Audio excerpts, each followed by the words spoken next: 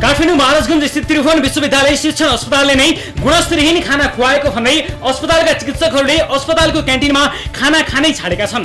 विगत पाँच वर्षदेखि अस्पतालसँग सम्झौता गरेर अस्पतालका आवश्यक चिकित्सक ड्युटीमा रहेका कर्मचारी तथा बिरामीहरूलाई दैनिक खाजा र खाना खुवाउँदै आएको एमबी क्यान्टिनले गुणस्तरीय खाना खुवाएको भन्दै पटक पटक चिकित्सकहरूले अस्पताल प्रशासनसँग गुनासो राखेका थिए। तर पनि खानाको गुणस्तर नसुध्रिएपछि तिन दिनदेखि अस्पतालको क्यान्टिनमा खाना नखाएको चिकित्सकहरू बताउँछन्।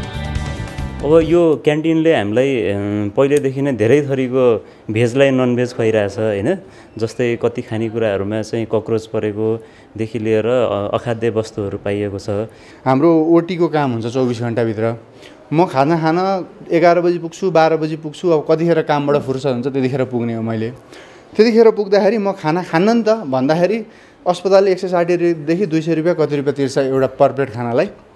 उसले त्यो खाना नखाने हुँदाखेरि खानाको सट्टा खाए खा नखाए तैँले खाने पाउने भनेको दुई बोतल पानी हो भन्छ। हामीले खाइरहेको खाना पनि कतिपयले बाध्यता भएर अघि दाइले भन्नुभयो जस्तै कुनै अप्सनै नभएर बाहिर कुनै ठाउँ नै भएन।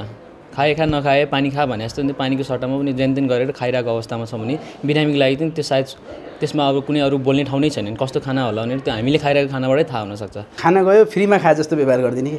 अस्पतालले त पैसा तिरिरहेको छ नि त। हामीलाई गयो खाना हालिदिने नि टाइम लाग्ने कुराको कुराइ गर्ने चम्चा हुँदैन चम्चा फोहोर हुन्छ गिलासहरू उस्तै हुन्छ।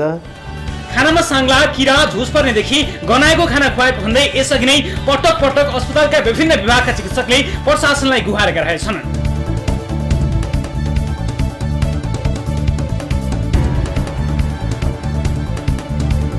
विषयमा अस्पताल प्रशासनले नै पटक पटक क्यान्टिन सञ्चालकलाई जानकारी गराएर सचेत गराएको बताउँछ। तर क्यान्टिन सञ्चालकले प्रशासनलाई नै व्यवस्था गरेको प्रशासन प्रमुख सूर्य प्रसाद अधिकारी बताउँछन्।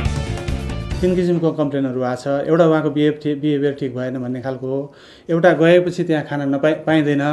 अब अपरेसन सकेर जानुपर्छ तर जाँदाखेरि खाना खानु पाइँदैन भन्ने खालको चाहिँ एउटा। र अर्को चाहिँ नै खाना हाइजेनिक छैन। भन्ने खालको तिनै किसिमको कम्प्लेन आएको छ। र खानाभित्र साङ्ला झिँगादेखि लिएर जुस भाँडा मान्ने जुसहरू त्यो सबै परेको भनेर लिखित कम्प्लेनहरू चाहिँ डक्टरहरूले दिनु। अस्पतालका अनुसार एमबी क्यान्टिनसँग सम्झौता सकिएर नयाँ कम्पनीसँग क्यान्टिन सञ्चालनको लागि सम्झौता हुँदैछ। नयाँ सम्झौता हुँदा एमबी क्यान्टिनले नभई अर्कै कम्पनीले जिम्मा पाएको छ। यसका विरुद्ध एमबी क्यान्टिन सञ्चालक मुना थापा सर्वोच्च अदालत तथा जिल्ला अदालतमा पुगेकी छिन्। सञ्चालक थापाले अस्पताल प्रशासन र चिकित्सकहरूले यसअघि कहिले पनि खाना गुणस्तरहीन भएको भन्ने गुनासो नगरेको तर अहिले आफू कानुनी बाटोमा गएपछि गलत आरोप लगाएको बताउँछिन्। गुणस्तरीय छ हाम्रो के अरे लेभलमै हामीले सबै लेभलहरू मरमसलादेखि लिएर गएर सबै चिज के अरे म्याथ ननागेका यस्ता सबै चिजहरू सबै नै लेभलले हेरेरै खरिद गरेर सबै चिज गरेर हामीले गुणस्तरीय खुवाइरहेको छौँ साथै सधैँ अस्पतालका डाइटिसियनलाई इच्छा गराएर मात्रै खाना वितरण गर्ने गरेकाले डाइटिसियनले आजसम्म गुणस्तरको बारेमा क्यान्टिनलाई गुनासो नगरेको उनीहरूको तर्क छ।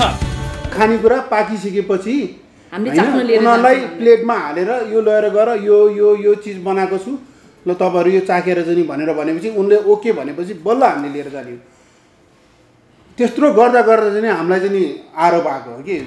यता अस्पतालकी डाइटिसियन नानी शोभा सार्कीले भने चिकित्सकहरूले यसअघि पटक पटक खानामा कमजोरी भएको भन्ने गुनासो गरेपछि आफूले क्यान्टिन सञ्चालकलाई पटक पटक सचेत गराएको तर पनि सुधार नभएको बताउँछिन्। बेलुका डिनरहरू खाँदाखेरि चाहिँ उहाँहरूको बारम्बार चाहिँ कम्प्लेन चाहिँ पढ्ने गरेको थियो कि पहिला पनि? ए हजुर। हाइजेनिक भएन हामीले भनेको कुराहरू चाहिँ उहाँहरूले मि- मिठो गरेर बनाइदिनु भएन। अनि अर्को चाहिँ व्यवहार राम्रो भएन होइन? भन्ने कुराहरू कम्प्लेन गर्थ्यो। अनि हामीले त्यति कम्प्लेन गर्दाखेरि चाहिँ जस्तो हाम्रो मिटिङ पनि हुन्थ्यो त्यहाँ मिटिङ भएर मिटिङमा कम्प्लेन गर्दाखेरि चाहिँ अब हामी त्यो कुरा ल्याएर के भएको थियो भनेर सबै कुराहरू सोद्धाखेरि अब त्यस्तोहरूमा चाहिँ कहिलेकाहीँ चाहिँ तरकारी अब के अरे दाल गनायो। तपाईँहरूले त्यो क्यान्टिनवालालाई क्यान्टिनलाई त्यो चाहिँ सचेत गराउँथ्यौँ अनि बार बार चाहिँ हामीले उहाँले भनेन भने यो कुराहरू तपाईँहरूकोमा चाहिँ सुधार्नु पर्यो भनेर हामी लिखित रूपमा पनि पनि दिने गरेका थियो। अहिले अस्पतालका क्यान्टिन सञ्चालक ठेक्का सम्झौतामा मनपरी भएको भन्दै सर्वोच्च अदालत तथा जिल्ला अदालत पुगेका छन्। यो विषयमा दुवै अदालतले छलफलका लागि बोलाएका छन् भने जिल्ला अदालतले स्टे अर्डर दिएको छ।